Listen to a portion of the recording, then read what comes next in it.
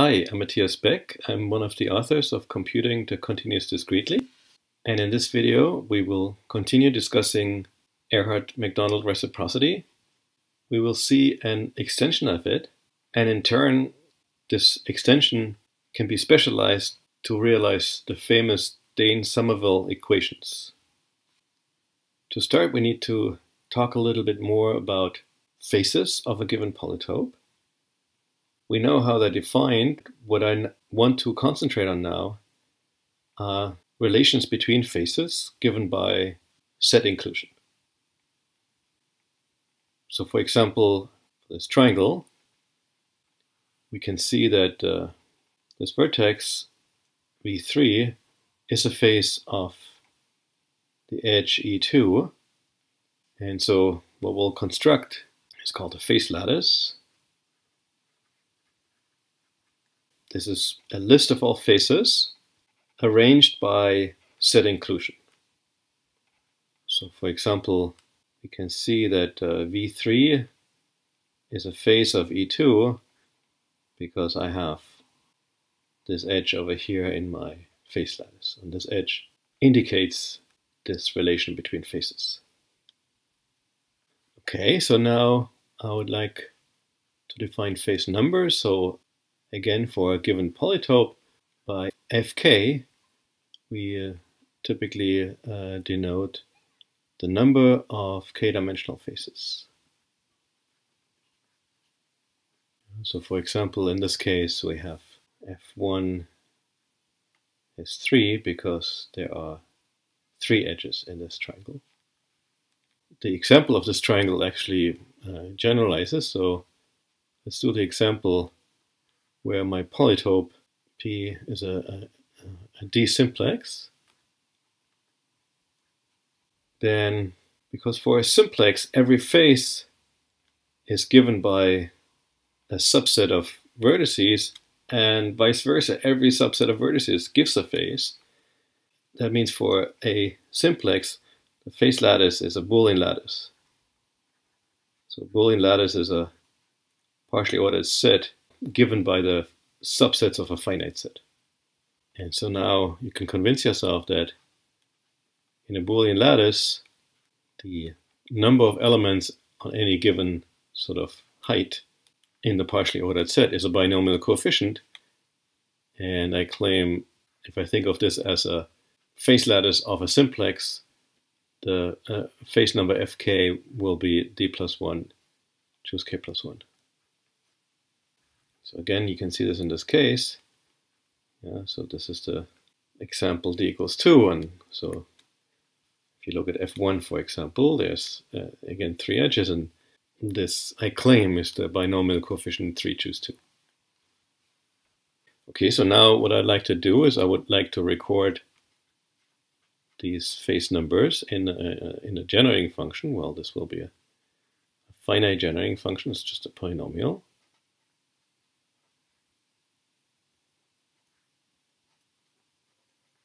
And the reason is sometimes this polynomial looks very nice. So for example, in the case of my D simplex, this uh, f polynomial, it's called sometimes, will be now encoded by binomial uh, coefficients. And I guess I should do a, a little um, change of variables in the sum. So let me start the sum at k equals 1 and then write the coefficient d plus 1 over k instead. And so if I want to still have an x to the k, I need to divide by 1 over x. And now you can realize this is almost uh, a binomial, binomial 1 plus x, I guess to the power d plus 1. Uh, we're just missing the constant term. Why am I doing this sort of finite generating function? Well, really, at the end of the day, what I want to do is I want to get the alternating sum of face numbers and so this is this is evaluation of this polynomial at negative 1.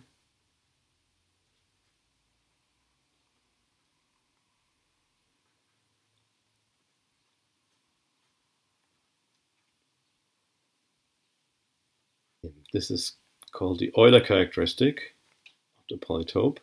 And I'm after a famous theorem, and, and this theorem says that this Euler characteristic is always 1.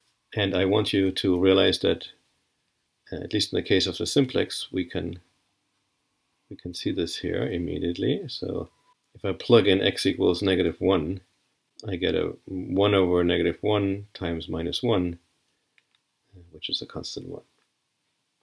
But this Euler relation holds for any convex polytope of a given dimension.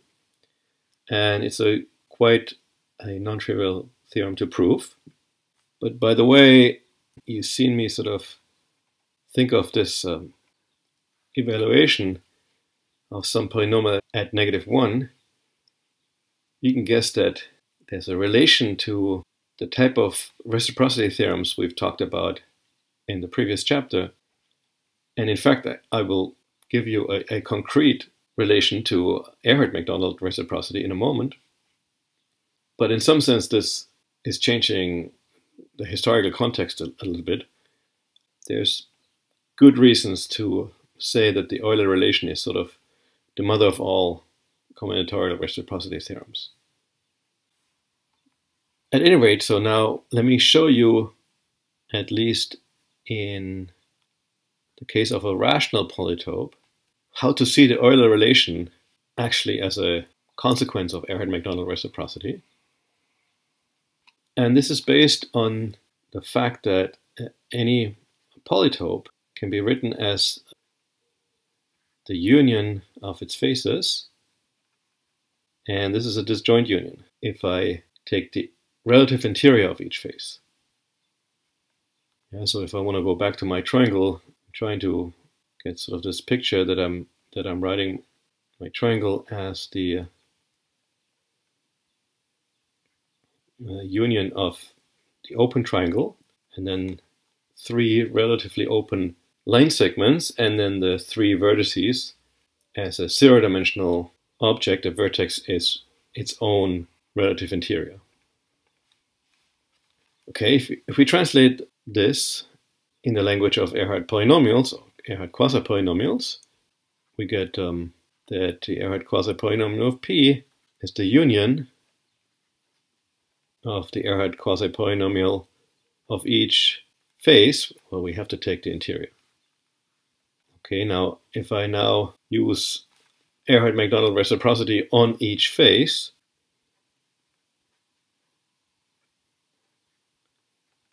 I will get sort of this correction factor uh, negative 1 to the dimension of the face, and then the Ehrhart polynomial of the face, of the closure of the face, evaluated at negative t.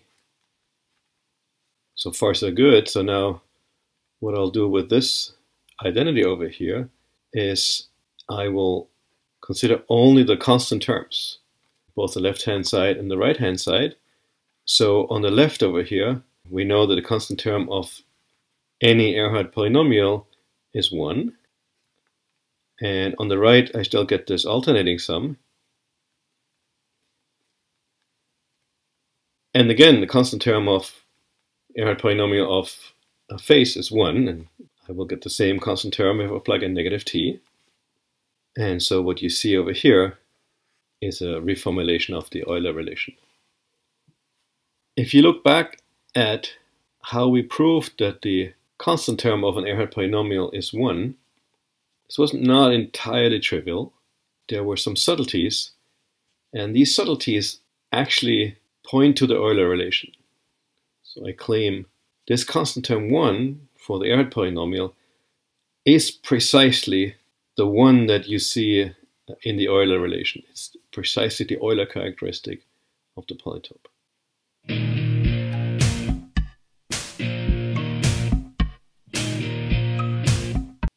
So to get to the Dehn-Sommerville equations, I need to talk about simple and simplicial polytopes.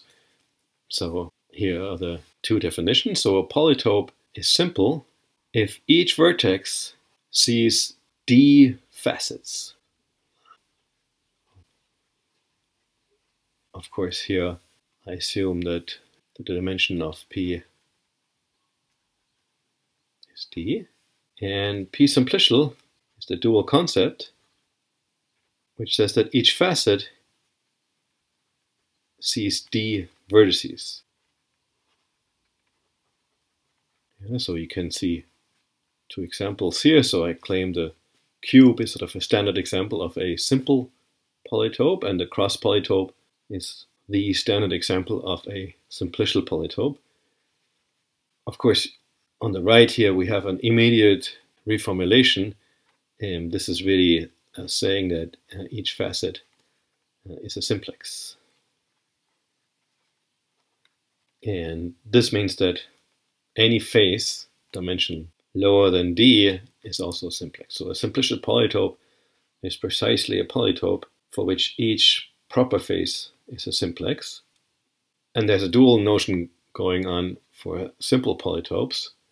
So I claim because each vertex lies on d facets, you can now say that each edge lies on d minus 1 facets, and so on.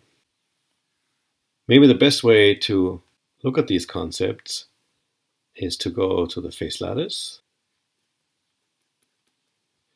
So I'm going to draw this sort of schematically here. I think of my face lattice as some sort of big, partially ordered said. On top is the polytope, that's the top face, and on the bottom is the empty face. And so I claim these notions have to do with the vertices in the simple case and the facets in the simplicial case. I claim, and I invite you to think about this, a polytope is simple precisely when each of these sort of sub partially ordered set that are sitting between P and a given vertex, this is in the simple case, or each of the sub partially ordered sets, so this is now really a face lattice, between a facet and the empty set if these are Boolean. Yeah, so let me remind you that the Boolean lattice is the face lattice of a simplex of the correct dimension. And so you can see this immediately in the simplicial case. We're saying each facet is a simplex, so you will see a Boolean lattice underneath each facet. And again, I claim in the simple case, this is sort of a dual version of that. You will see a Boolean lattice above each vertex. And so now you can imagine that we can use this fact. The face lattice of a simple polytope, let's say, might be really complicated. But as soon as I'm standing at the vertex and then look up in the face lattice, what I see above that vertex is just a Boolean lattice. And so here I know all my numbers in terms of relations are given by binomial coefficients.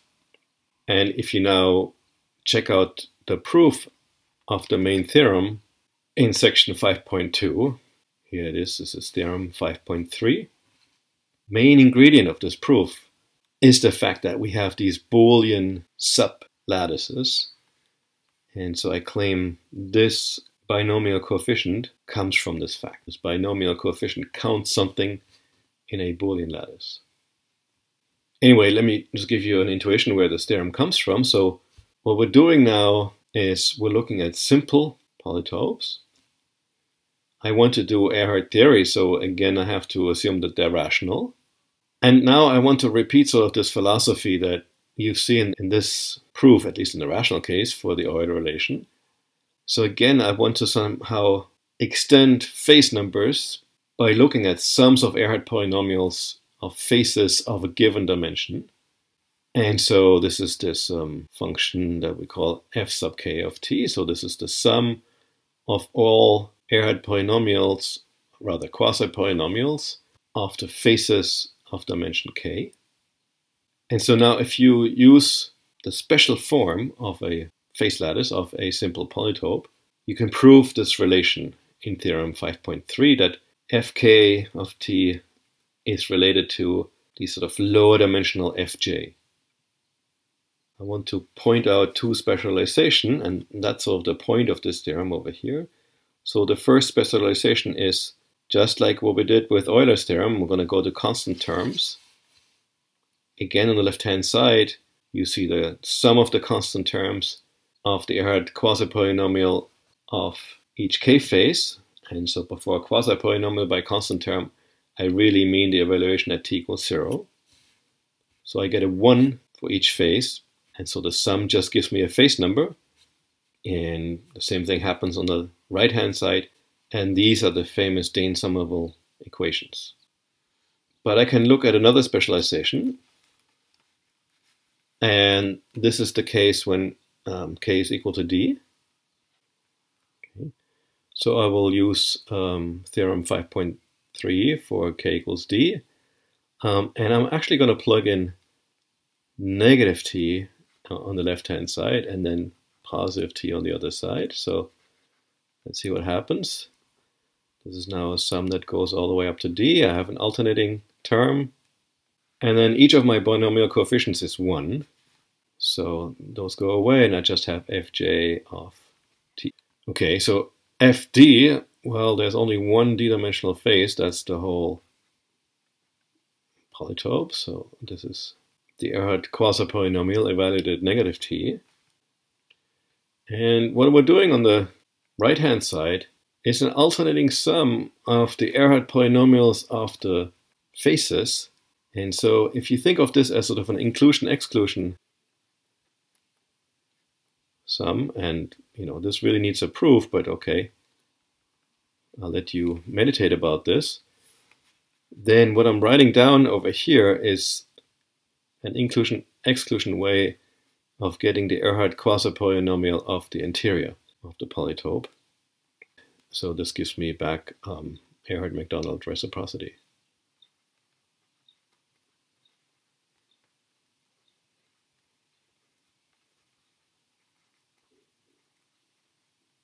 So this comes to a full circle, what I mentioned in the beginning of this video. So we have here a theorem that generalizes simultaneously the Dehn-Sommerville equations and Ehrhart-Macdonald reciprocity.